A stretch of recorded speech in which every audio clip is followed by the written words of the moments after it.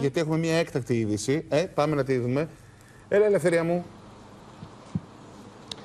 Πριν από λίγη ώρα λοιπόν ε, Μάνο και Χρύσα είχαμε εκτροπή φορτηγού στο ρεύμα της Αθήνας στη Νέα Εθνική Οδό Αθηνών ε, Λαμίας κάτω από αδιευκρίνησες συνθήκες.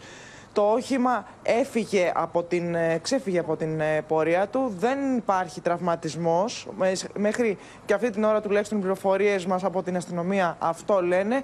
Ωστόσο, το περιστατικό αυτό που σας ανέφερα προηγουμένως έγινε στο ρεύμα προς Αθήνας, στην έξονδρο ε, προς ε, Καπανδρίτη. Έχει κλείσει το ρεύμα προς ε, Αθήνα. Οπότε καλό θα ήταν οι οδηγοί να αποφύγουν το συγκεκριμένο Είναι παιδιά δρόμο, δύσκολο το σημείο αυτό. Ε, θα αυτό, ταλαιπωρηθούν. Αυτό φορτώνει καθημερινά. Ναι. Έχει πάρα πολύ κίνηση. Γιατί έγινε ακριβώς εκεί το σημείο. Η έξοδος του Καπανδριτίου στην κάθοδο, όπως λες, προς Αθήνα θέλει πολύ μεγάλη προσοχή και να πούμε σε όσους ε, μας βλέπουν τώρα και πρόκειται να φύγουν από το σπίτι τους να, να αποφύγουν τη διαδρομή αυτή. Να πάνε από μέσα.